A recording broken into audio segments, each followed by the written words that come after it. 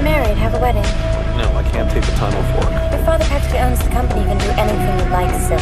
I don't want to talk about it. I hate that job anyway. See why you just don't quit.